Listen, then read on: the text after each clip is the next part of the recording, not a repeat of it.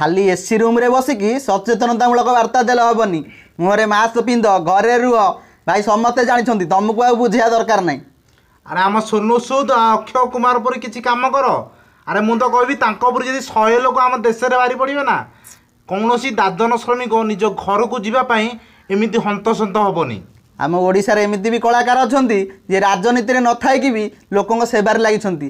ଯେମିତି ଆମର ସବ୍ୟସାଚୀ ଭାଇ ରାନୀ ପଣ୍ଡା ଓ ତାଙ୍କୁ ତ ସାଲ୍ୟୁଟ୍ ନ କରିକି ରହି ହେଉନି ଆଉ ଆଉ କିଛି ତ କଳାକାର ଅଛନ୍ତି କେବଳ ଅଭିନୟ କରି ଚାଲିଛନ୍ତି। ଭାଇ ଅଭିନୟ ଭାଇ ସମସ୍ତେ କରୁଛନ୍ତି।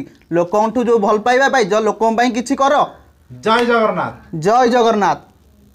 ଶ୍ରବଣ କୁମାର କଥା ଆପଣ ଶୁଣିଛନ୍ତି ପୁରାଣରେ। ଲେଡି ଶ୍ରବଣ କୁମାର କଥା ଆପଣ ଶୁଣିଛନ୍ତି? ହଁ ବିହାରର ଝିଅ ଜ୍ୟୋତି ମାତ୍ର ପନ୍ଦର ବର୍ଷର ଝିଅ। ନିଜ ବାପାଙ୍କୁ ନିଜ ସାଇକେଲରେ ବାରଶହ କିଲୋମିଟର ନେଇ ଆସିଛନ୍ତି ନିଜ ଘରକୁ। ସୁଧୁରି ଯାଅ ରେ ସୁଧୁରି ଯାଅ। ଯେଉଁମାନେ କନ୍ୟା ଭ୍ରୂଣ ହତ୍ୟା କରିଛ ଯେଉଁମାନେ କରିବାକୁ ଯାଉଛ ଆଜଠି ସୁଧୁରି ଯାଅ। ସେଇଥିରେ ତୁମର ମଙ୍ଗଳ ହେବ। ଜ୍ୟୋତି ଭଉଣୀ ତମ ପାଇଁ ଆମେ ଆଉ କିଛି କହିବୁନୁ। ତମ ପିତୃଭକ୍ତି ଦେଖି ଆମ ମୁଣ୍ଡ ନଇଁ ଯାଉଛି। ବାସ୍ ତମ ପରି ଝିଅ କେବଳ ଭାଗ୍ୟବାନ ବାପାଙ୍କୁ ହିଁ ମିଳିଥାଏ।